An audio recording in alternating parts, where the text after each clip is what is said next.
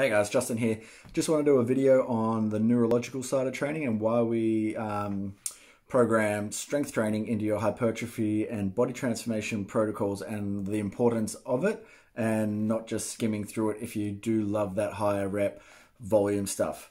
So basically like the neurological side or the strength, strength side um, things, it can be looked at as a rest off the more inflammatory protocols like the higher volume in the metabolic work and the hypertrophy work, um, there's less demand or there's less inflammatory response.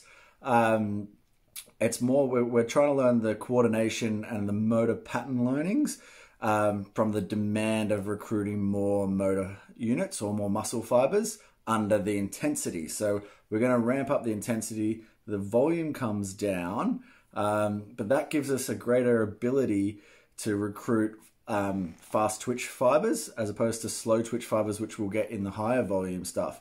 The um, the benefits of those are that they they have the ability to hypertrophy the most. So, um, but they're not as cost efficient on energy wise. So the body wants to use the most like like move in the most efficient way. So it'll always prime towards switching on um, slow um, twitch fibers as opposed to the fast twitch fibers. So the neurological phase is very important for that, um, and having the like the high demand in tension. So when we like increase the tension, um, we're going to create some mechanical damage.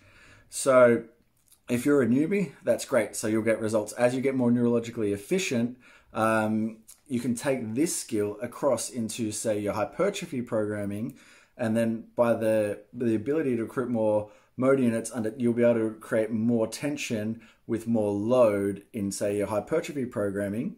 And then when we go to the um, metabolic phase, you'll be able to recruit more motor units to deplete more energy systems. So if you were trying to deplete glycogen, create lactic acid, you've got more motor units to do that. So then you get these results faster from less work um, being more neurologically efficient. Now, the adaptions we're going to get here, like biochemically, we're not going to be taxing, say, electrolytes as much because the volume's down. Same with like carbs. We're not going to be needing as many carbs in our nutrition. We're not going to be um, like smashing blood sugar in the body. So a lot of these things will, like, we can we'll be taking out. You'll notice in the diets that um, the carbs will come down around training and whatnot. Um, the and then the supplements may change. So we might really restrict caffeine because caffeine depletes the ability to boost neurotransmitters, which is what we're going to do in a neuro program. We're going to be burning through the neurotransmitters acetylcholine, dopamine. So um, we'll increase foods like protein and fats, which help boost these, and there'll be some supplements there to help that. Um, recovery wise, we get little to no adaptation to recovery in the or improvements to recovery in the neuro phase. And that's basically just because like with the high amounts of inflammatory responses from hypertrophy we're going to get those adaptations there.